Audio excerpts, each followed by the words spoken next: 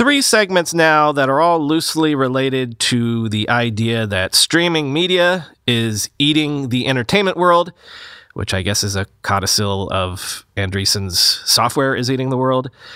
Entertainment is no different than anything else in the world. Sources are telling the Wall Street Journal that Comcast and Walmart are teaming up to develop and distribute their own line of smart TVs. Why? Well, Comcast wants its own version of Roku, basically, or its own version of Apple TV, its own platform beyond its dwindling actual, you know, cable box under your TV. And Walmart wants some of that sweet, sweet recurring revenue. Quote, under the terms the companies are discussing, retail giant Walmart would promote TV sets running Comcast software and would get a share of recurring revenue from Comcast in return, the people said. A third party would likely manufacture the sets, and one possibility is that they could carry Walmart branding, they said. The Comcast software, drawing on expertise the company has developed and technology it has acquired, would aim to help consumers navigate through their streaming apps and watch programming. That would put Comcast up against tech companies that already are the major players in the streaming era's living room Apple TV maker Apple, Fire TV maker Amazon, and Roku. This strategy would enable Comcast to market to consumers nationwide, a change in a U.S. cable industry where players have stuck for decades to their regional footprints. Comcast would be able to promote its new streaming service Peacock front and center in the smart TVs, the people familiar with the matter said. Walmart, a dominant seller of TV sets, already has a partnership with Roku to sell smart TVs under the Walmart brand onn. The Comcast talks with Walmart are at an early stage and may not result in a pact. People familiar with the talks cautioned, end quote.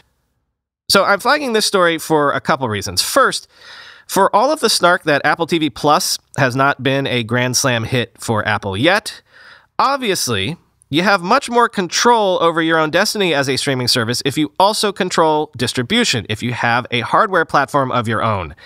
Disney is Disney and may not need one, but if there's going to be a survivor beyond Netflix, Disney Plus, and Hulu in the streaming wars, then Comcast and Peacock would be smart to basically become their own Roku. But also, I think it's important to understand how big a business this is to be someone's smart TV.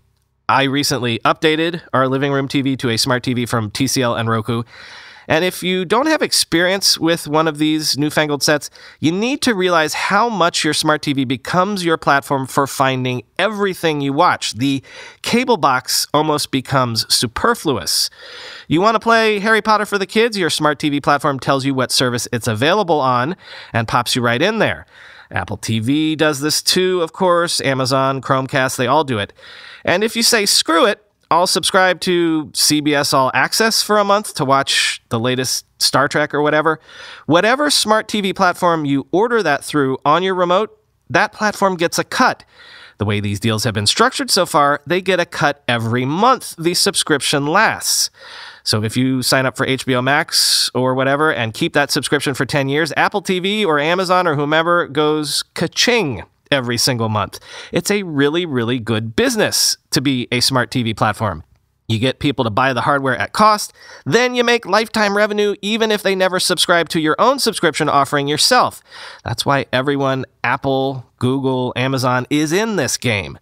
Facebook wants in too. Might we see a Portal TV someday soon? It's not insane. And from Walmart's perspective, Think of how revolutionary this is for them. All these years they've had to claw to make tiny margins selling goods to consumers. Now, not only can they sell folks something, they can sell something and make our sweet recurring revenue on it in perpetuity.